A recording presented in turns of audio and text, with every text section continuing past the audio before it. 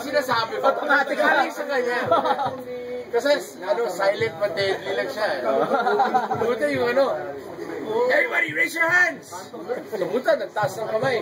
Tapos to, ibaba nyo! Ibaba nyo!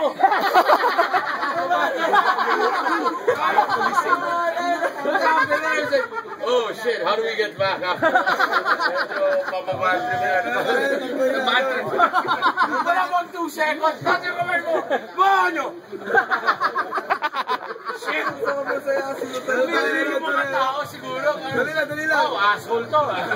Basti, kung may bigla kayo ano yung problema, bakit pinulong si Basti? Pinakuha yung ulo na ni John.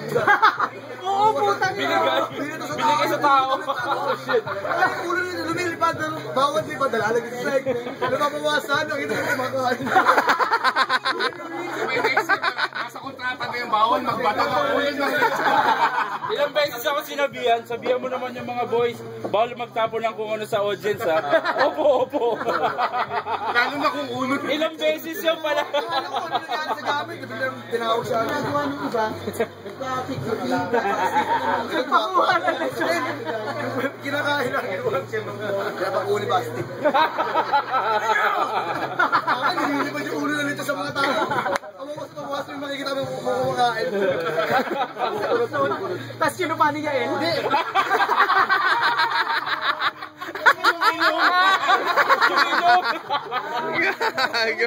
Yan pala sa audience. Ano naman, ano naman yung iwan? Lagi sa stage.